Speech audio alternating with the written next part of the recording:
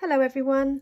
Today I'm going to show you how to print your own images for bottle cap toppers for hair bows. I got these from AliExpress. You can get them in all different colours. You can get them in metal or plastic. These ones in particular are metal ones and I'm using white today for my project. And I've never tried this before. As glossy accents and as a clear dimensional medium. It's almost like a it's like an epoxy. It says here it's good for stamping and scrapbooking, dries to a hard, clear, glossy finish.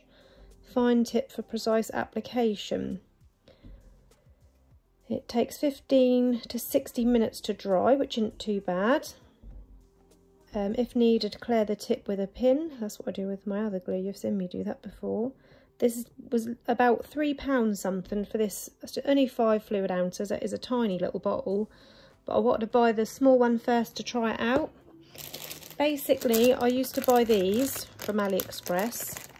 So what you do is you print out your image, you glue it in, and then you pull off one of these and you stick it on the top of your image and that dome gives like a sort of brings the image out like zooms it in sort of thing it's hard to explain but um I just find that they're not trustworthy. I've been sticking them on and my little girl's got a couple of hair bows because she's my guinea pig. Before I sell bows, I like to make them for her first to see how they would stand. And I just sometimes find that these, sometimes they'll stick, sometimes they don't. And I don't want to obviously sell hair bows with these on, worrying that they're going to fall off. So that's when I came across this so this is what I'm going to try today for the first time. So we'll see how this turns out. I found this website. I googled basically um, royalty free or uh, commercial use images and I found this website called webstockreview.net and there's images on here which say that you can use for commercial use which means you can print them and obviously use them in your crafts to sell.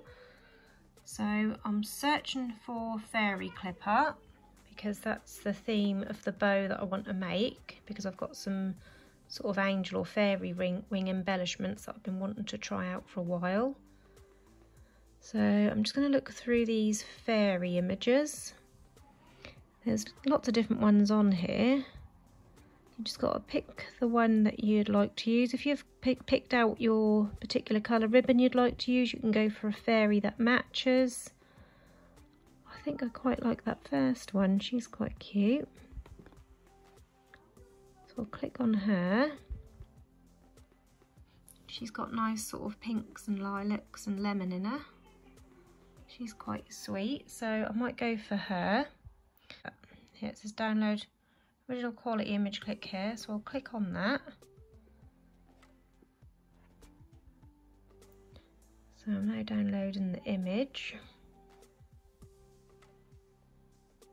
I'll just open it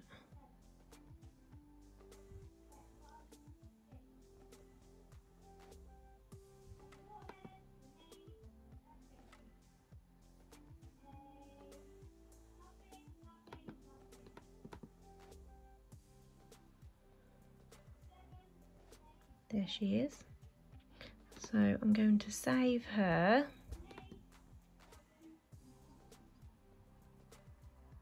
I've got my own little folder desktop Coles I've got my own little folder where I save all of my craft images so she's now saving. And then what I'm going to do I'll just get off all of this Right, I've got um, Greeting Card Factory here. And this is the program that I use. I've already got one opened here to do all of my craft and work on.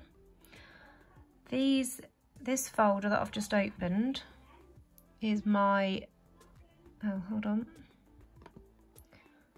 So this, what I've just opened here, this is my, where I make my bottle cap images. I've dragged a couple to the side. I keep them on here just so I know the correct size for my bottle caps. The ones I don't need, I just drag them off to the side, but I always keep them off the page in case I need them in the future, like someone might ask for, say, this bottle cap image on a bow, so I can come back on here, drag it back onto my page and print it out. So I want the fairy image, so I'm going to go on Add Items, Add a Graphic from File, just wait for that to load. And then I'm going to go to where I saved it which was on my desktop. And it was under Coles. And these are all the different images that I've saved. So I've just got to scroll through and find that fairy. There she is. Click on her bring her to the middle so there she is, and I need to make her the correct size to fit in a bottle cap image this big. So what I'm going to do is I'm going to go on add a custom shape and we're going to go for pie and then if we go on line, I'm going to line it 1.5 for now, but I'm going to fill it with blank. So it's clear in the middle, and then that's that gives you an outline. The outline we can have, I think we'll do, I think I'll pick out the lilacs. If we pick a lilac, oh no, sorry, I'm on fill. I want to fill it with plain, go on to line, and I want the line to be lilac. So just find the lilac. She's got a few different shades of lilac. I have a nice light one. I'm going to make that outline a little bit bigger. A bit bigger than that as well because we still can't see it. Five. Actually, we'll keep it on two and a half and see what it come out like. Sometimes when you make it smaller, so I'm just making that circle small and then I'm going to hover that over here to make sure that the size is about right. So I want it a tiny bit smaller. So just put that up in this corner. Tiny little bit smaller. About like that. So that is going to print out the size of my bottle cap image. If you see at the top, it's around, if I move this, it's around an inch, which is about right because the bottle cap is an inch. And then my fairy, she can go in the middle. And we need to size her so that she fits in there. I can make her a little bit shorter, but I don't want to make her look stumpy. Just keep altering her slightly little little tiny bits at a time till you're happy that she fits in there. I'm just going to zoom in on that. Make it bigger so I can see the image better.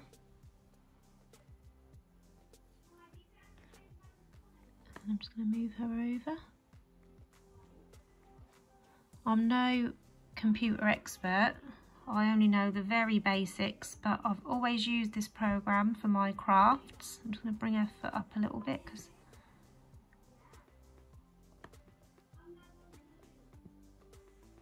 like that. So she's in the middle of that circle. I could add a coloured background, but I'm going to keep it to the white because I'm using a white bottle cap image, uh, bottle cap, and I'm going to also use a white pair of wings. I might actually colour the wings. So as you can see, the lilac frame brings out the lilac in her wings. So that is your bottle cap image ready to print. Now you've got your image how you want it. You want to group it. So select the whole thing and then I'm going to group it. That way I can move it around and the whole thing will move, not just the circle or the fairy, so I don't have to line that up again. Now I want to um, make a couple of those, so I'm printing out a couple. So what I'm going to do is I'm going to go up here to cut and then I'm going to paste, paste, paste. So I'll print out three of those next to each other. like that just in case I cut one out and I make a mistake or when I stick it on the inside the bottle cap that might tear when I was wet with the glue so I've got a couple of spare ones to fall back on. So they're now all ready to print out. So I'm going to get my printer ready. So the printer I use is a Canon it's a Pixma MG 3650S that's the printer I'm using today. I got this printer um, not that long ago, but that works for printing on canvas and everything as well. So I've got my fairy image all ready to print. So I'm going to go up to this top corner here and I'm going to select print.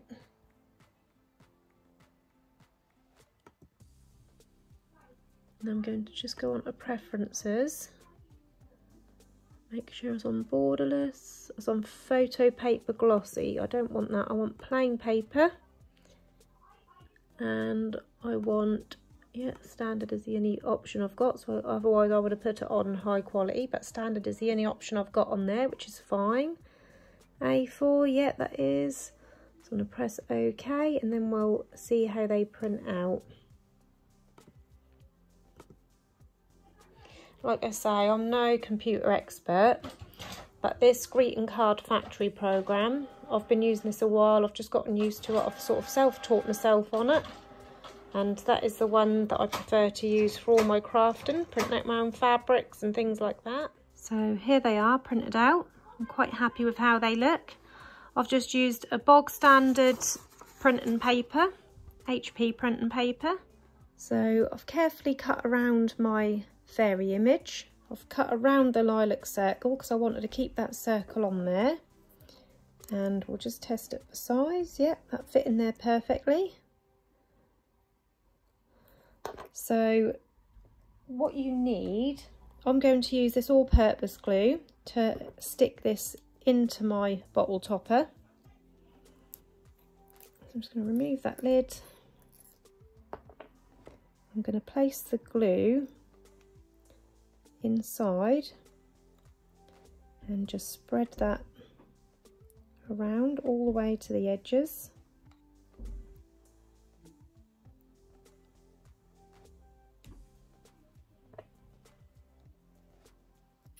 So make sure that's all spread all the way around. And then lay your image into the glue pushing that down.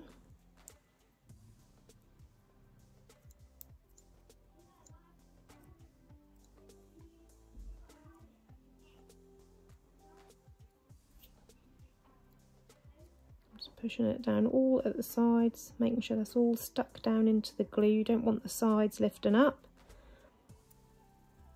So just go all the way around, pushing that down. So that's in there like that.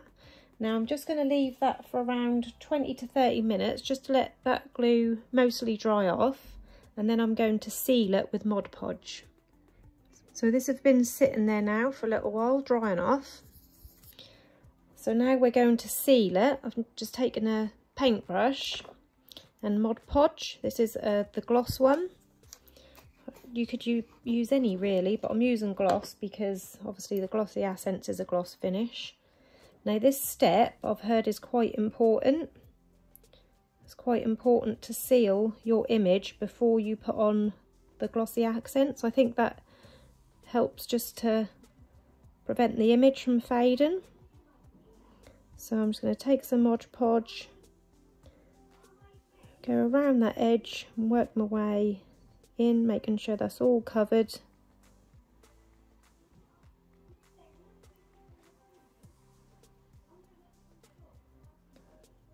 make sure that's all spread evenly.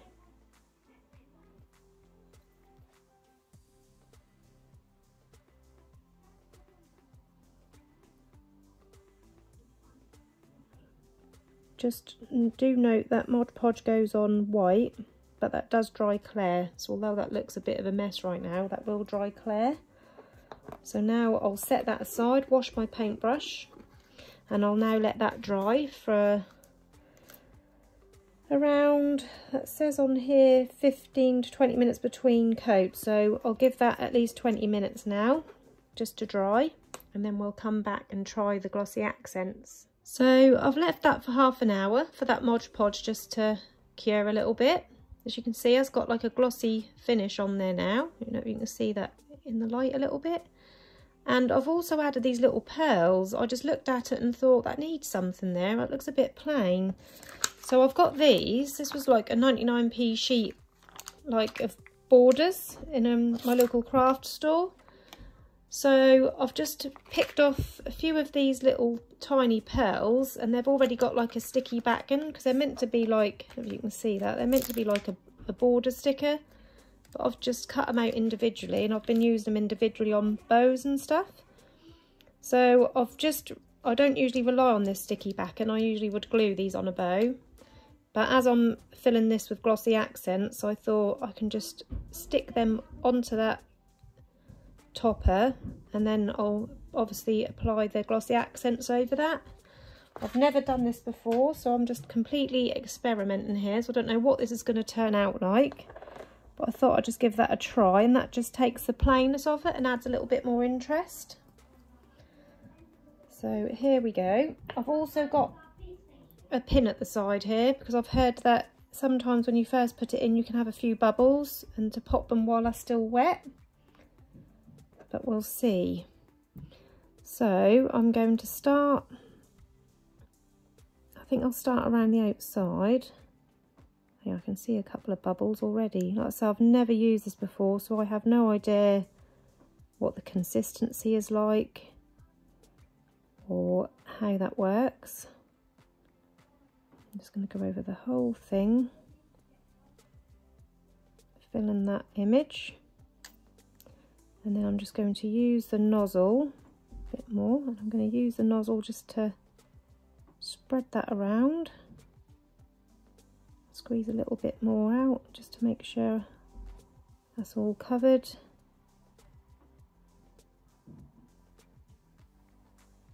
I'm not sure if you should do this in separate layers or just go for it all in one go I've no idea now I can see a couple of bubbles there so I'm just going to use my pin they're not coming out. They're not coming out. So what I'm going to do is I'm going to push them to the side and hope that they'll come out. Oh, that one popped. I can't pop them. That's not really... bubbles are not really popping with the needle.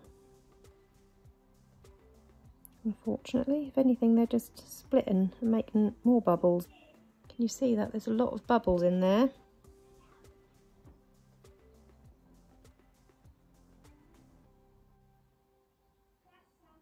If we just push them all to the edge so they're not so bad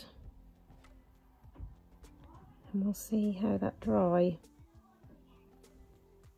you see that I've pushed all the bubbles just to that edge I'm going to lay that on a flat surface to dry so that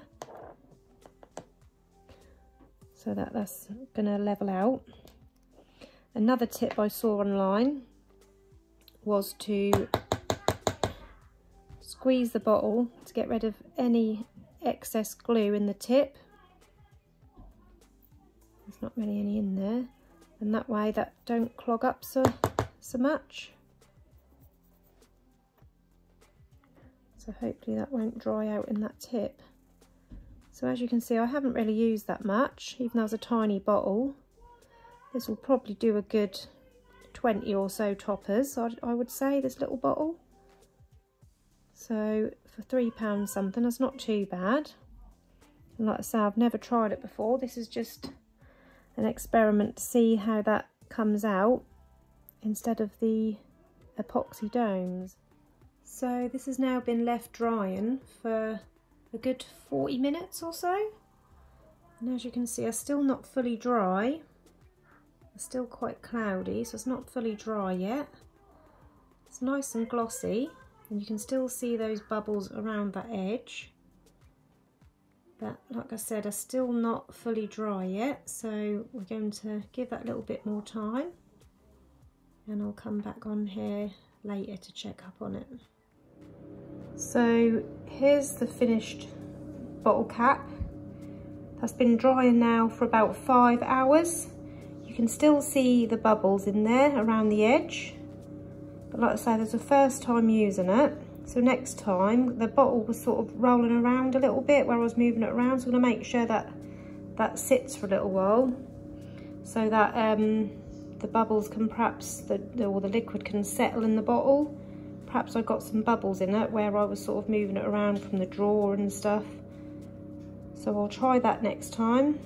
And also I might go for a bolder image because that's quite pale or faded already, that image. That was already quite pale.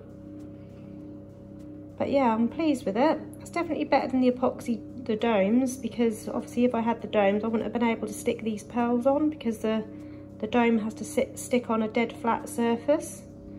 So with this stuff, you could put diamantes on there or other little embellishments to make something a little bit different. So yeah, that's the finished bottle cap. I hope you enjoyed this video. If you've got any questions, pop them into the comments below and I'll do my best to get back to you. Thank you for watching. Bye-bye.